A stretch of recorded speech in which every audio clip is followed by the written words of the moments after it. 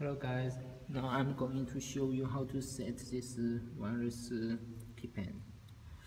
Uh, the factory state of the password is double one. If you press double one and press this button, it will like that. B is the correct password, and if not, it will like this. B B B B. It's not correct.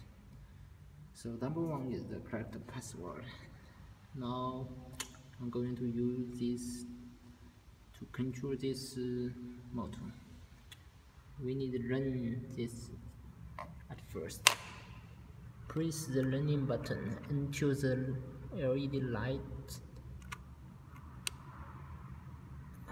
Okay the light LED light. And we press double one and this button. Again blink. Then we can use this wireless keypad to control the gate.